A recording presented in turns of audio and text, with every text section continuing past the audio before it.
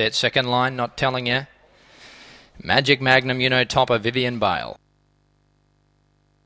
Three the favourite, Go Ginger Go. Mick Clayton looking for a race to race double. All boxed.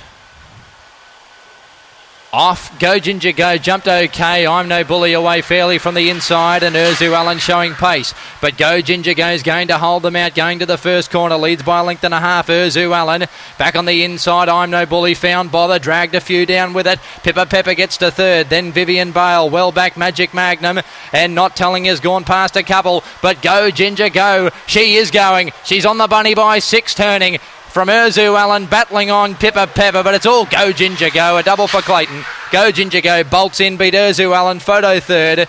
Not telling you, and the fast finishing Magic Magnum looked to be the two there. Further back on pulling up was Vivian Bale, Pippa Pepper.